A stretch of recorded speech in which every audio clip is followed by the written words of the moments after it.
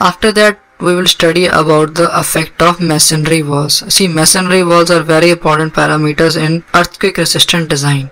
So, they are not assumed to carry any vertical or lateral force they are also uh, although considered as a non-structural elements only but as far as you know like stability of building is concerned with reference to the masonry infills and earthquakes they are very important so this basically creates a gap between the analysis and design part.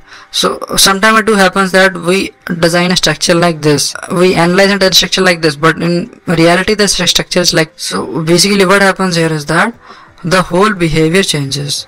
Here you can see that when we are designing it as a bare frame what we are doing here is that we are considering end moments along this and this we are considering axial forces we are considering column axial forces and we are considering column end moments. But basically in infill frame what is what is happening is that axial forces are transferred from this point to this point. The end moments are not being developed here. And while in the case of this open stilt or in like open uh, without uh, a story without any masonry infill what is happening here is that here you can see that the column has fixed end moments beam also has fixed end moments but on the top the behavior is uh, somewhat different. So if we are designing it like this and we are making it like this in the case of earthquake what basically happens is that th this is somewhat the behavior. That is we are applying a lateral force here. What basically happening is that this part and this part is being tied with the help of lateral masonry infill the compression for this is this is this compression strut that is that is formed here.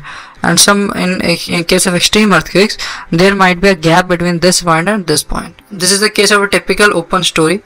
Here you can see that the top story or you like the uh, top stories are tied with the help of brick walls and on the bottom it is an open story.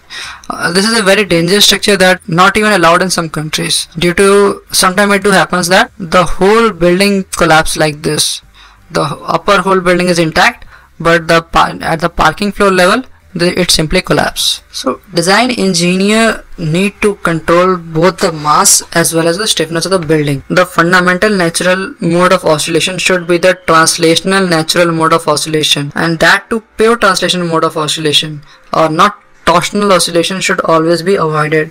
So the first thing that I do every day after designing a structure is that I check the first translational mode. I make sure that the first mode has to be translational. If not, I either increases the stiffness of the building or either increases size of the building or rearrange the whole structure arrangement so that my first mode has to be translational. Point number two all translational modes of oscillation and mixed mode of oscillation if any should be pushed to process natural period outside the range? That is it should be outside the range of it should be either be less than 0.04 and either should be more than 2 seconds. And by increasing the torsional stiffness of the building throughout the introduction of structural walls along the perimeter of the building. In RCC frame what we can do here is that we can increase the uh, RCC structural walls. So by increasing RCC structural walls, the torsional stiffness of the building increases and the behavior of the building change from mixed mode to the translation mode. Point number three, building should not be made structurally bisymmetric in two plane directions, resulting in the same natural period for two pure horizontal translation mode of oscillation. This is also a very important point that is you know like ignored by many structural engineers. Sometimes it do happens is that we take square columns we take square beams and the translational building becomes bisymmetric in both plane direction. It is bo along both x and y. And sometimes it also happens that the natural period of the building is same for both the axes code simply says that we cannot we should not go for this type of behavior. So no two natural periods of a pure translational mode should be within the 15% of larger natural period. So this is also very important point.